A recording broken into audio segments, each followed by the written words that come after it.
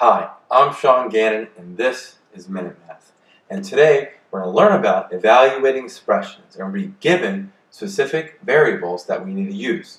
So, if I was given this expression, y divided by 2 plus x, and I want to use x equals 1 and y equals 2.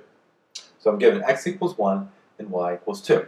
So I have y divided by 2 plus x. So I have x is 1 and y is 2. So I need to substitute 1 in for x and y for 2. Then I need to simplify. Okay. So whenever I substitute, I like to use parentheses.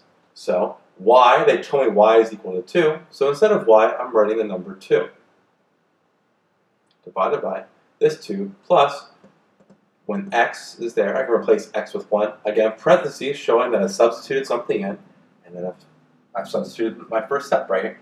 So I substituted first, I have the 1 in for x, and now I just need to simplify. So left to right, right?